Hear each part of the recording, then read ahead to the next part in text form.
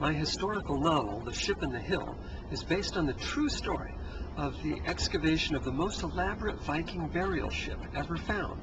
And this ship surprised people when they found it in 1904 because it turns out it was buried for a woman.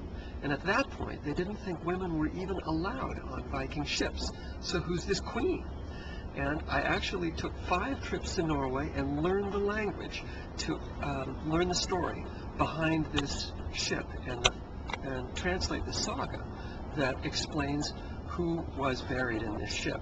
And it turns out it was for a queen who did not want to be a queen.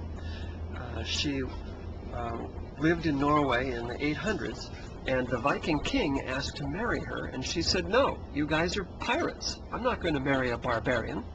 So the Viking king came over and slaughtered her whole family and took her captive.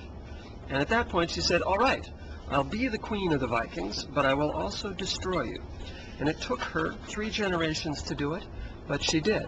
She shut her grandson, shut down the Vikings, sent them to Iceland, unified Norway, and brought peace to the country. So in this book, I alternate chapters between the excavation in 1904 and the Viking queen a thousand years earlier who's trying to outwit the Vikings. So it's a historical novel based on a true story uh, that has some of the themes of Tolkien and uh, the Vikings, but tells the other side of the Vikings. They're not all barbarians. There were people working for peace as well, and one of them was the queen buried in the ship in the hill.